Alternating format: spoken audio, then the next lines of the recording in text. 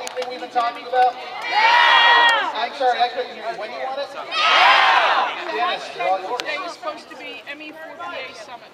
You can hashtag. I want to walk around like Brian did. I thought that was pretty cool. My name is Dennis Rail. I'm from Delaware Valley chapter of Americans United for Separation of Church and State. Americans United is one of the many groups to file briefs in the Prop 8 and DOMA marriage equality cases. And one of the things we noted in our briefs is that the enemies of marriage equality come from the religious right. But they don't come from all religious groups.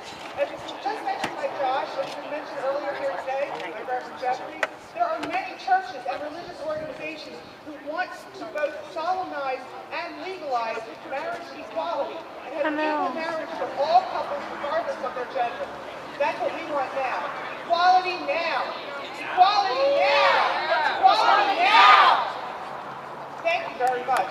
I'm so glad to see all these people here today. Each one of you represents dozens and hundreds of Pennsylvanians who stand strong for marriage equality. We had many people on Facebook who said, we're with you in spirit. We wish we could go. We have many people who thank us for being here. We have many people who want to be with us today. They stand strong for equality. We need you to lead them. We need you to encourage them. Contact our legislators. Write to them. Pass these bills, 719 and 300. Get these bills passed so we have equal rights for all LGBT citizens. Not special rights, equal rights. The same rights as everyone else. The religious right would like to deny you these rights. They think that they own morality.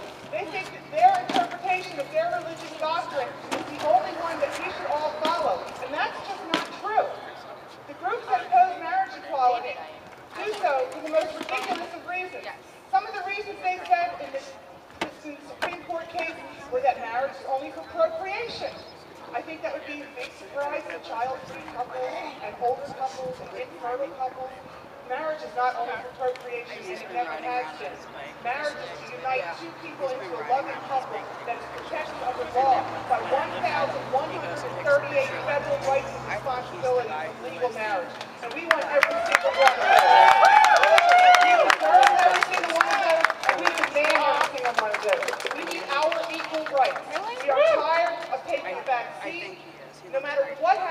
Doma and Prop 8, we need to pressure Pennsylvania legislators to pass equality laws now. So let's hear everybody. Equality now!